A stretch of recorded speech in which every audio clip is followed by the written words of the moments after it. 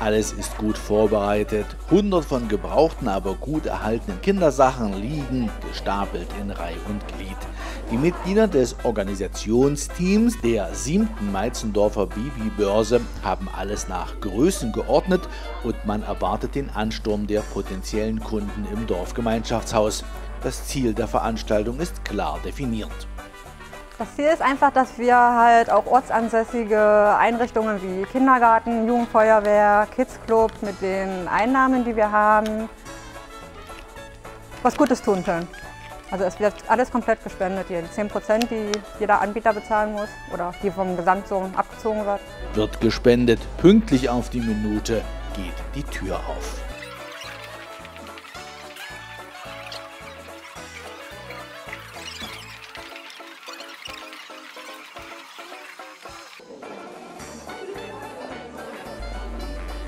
Wer hier Kindersachen oder Spielzeug verkaufen will, versieht die gewaschenen Sachen einzeln mit einem Etikett und dem Preis, über den nicht verhandelt wird. Er gibt bei den Organisatoren eine entsprechende Liste ab und dann hofft man auf guten Umsatz.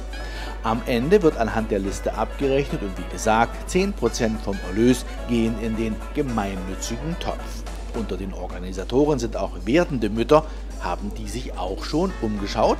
Ja, weil ich habe schon ein Winterkind zu Hause und bekomme jetzt ein Sommerkind und da habe ich eben halt auch nochmal geschnö geschnökert.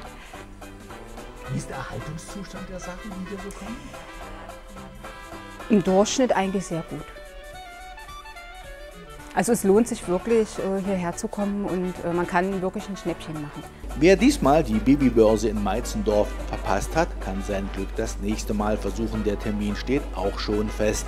21. September, 20 Uhr im Dorfgemeinschaftshaus in Meizendorf.